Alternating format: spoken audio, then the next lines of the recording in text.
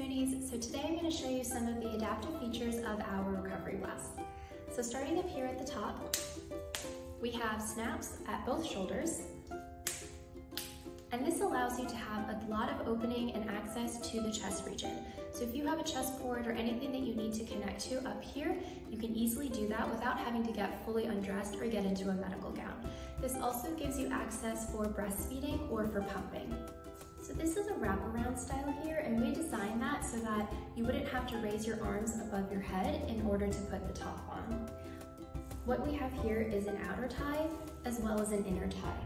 And this allows you a lot of flexibility in how tight you make this top as well as how much opening you have at the neck area. So I'm wearing mine a little bit more loosely, so as you can see, my neck drop is pretty low, and I'm wearing a shirt underneath it. But if you wanted more coverage, all you need to do is um, tie this a little bit more tightly so that you have uh, less cover, less opening up at the neck area.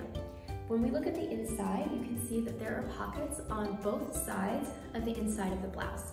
Now these are designed to hold drainage bulbs, they can hold medical devices, you can even put a breast pump in here if you're in the process of breast pumping. Now, this uh, material is a really soft, cozy fleece material. Um, it keeps you nice and warm. It's great for colder months. It's great for cold hospital rooms. Um, and we've designed this style to have side slits at the hip area. Now this is great because when you are sitting down or if you're just moving around a lot, um, you have this more like slim fitted style, but you don't have as much constriction through the hip region.